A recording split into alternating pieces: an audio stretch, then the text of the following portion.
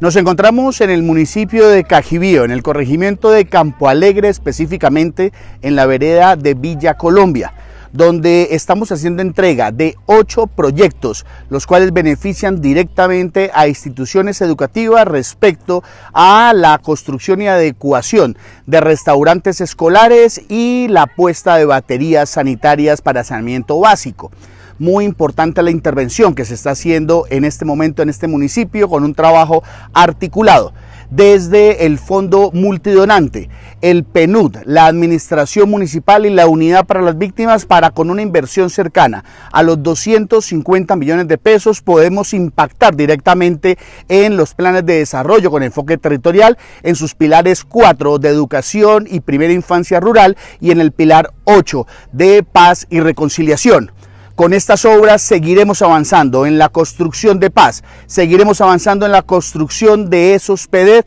y de los planes de retorno y reubicación un agradecimiento muy especial a la Alta Consejería para la Estabilización, al Programa de Naciones Unidas para el Desarrollo y la Unidad para las Víctimas, quienes con ese trabajo articulado logran sacar adelante estas obras en beneficio de nuestra niñez caucana.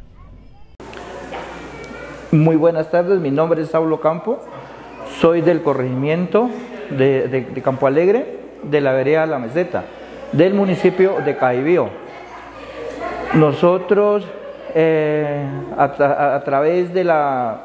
unidad de, víctimas y el PNU, y en convenio con la alcaldía, hoy se están entregando varias aulas en el municipio de, Caibío.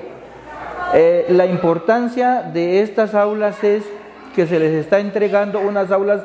para un futuro. Nuestros muchachos, nuestros hijos, nuestros niños, nuestras niñas, es el futuro de, la patria de, nuestro, de, nuestra Colombia. Hoy se hace entrega de, las aulas para que los niños asistan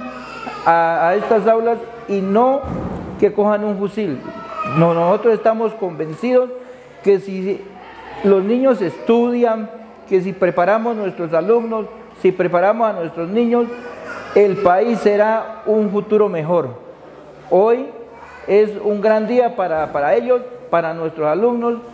pero también reconocer la labor tan grande que hacen nuestros profesores,